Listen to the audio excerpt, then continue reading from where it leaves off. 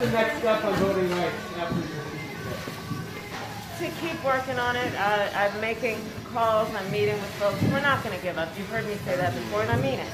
This is too important. This is not about, it, this is literally about the future of our country in terms of its democracy.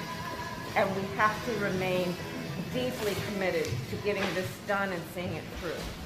However long it takes, but right now we have bills before us. The United States Senate has the opportunity, and I dare say the responsibility to pass these bills through Congress so the president can sign them. And, um, and, and the resistance to doing that will not deter us from our commitment to getting it done.